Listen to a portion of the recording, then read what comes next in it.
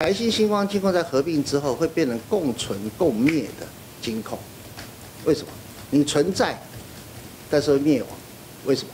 你被自己压死。金控并购要共存还是共灭？星光金大股东林伯汉说自己乐当乌鸦。星光集团内部的人都认为我是一只大乌鸦，吹哨者，但说话，因为没有比较就没有伤害啊。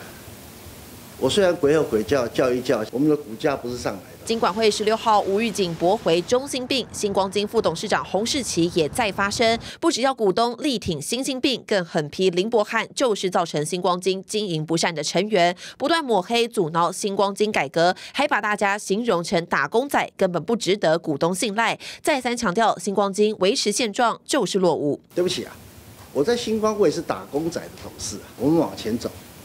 但是我们是走向死胡同，还像走还是走向蓝海？因为你的合作伙伴的状况会影响你的前途。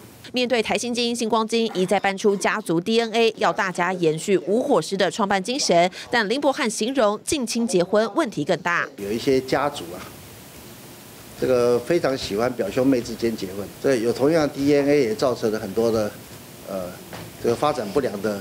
的下一代出来嘛？他更搬出数字，要是新兴病未来长期获利，EPS 恐怕都低于一块钱，名列金控后段班。但中信金 EPS 长期保持两元以上，即使合并也不会被拖累。中信金也打算再出招，二十号董事会将重修收购计划。强摘的果实哈，未必好吃。那我当然还是希望说，我们尽力的促成我们的新兴病抢亲大战要跟时间赛跑，看似占上风的新兴病，十月九号股东临时会将是决战关键。近新闻许绍瑜、嘉伟、蔡安庆采访报道。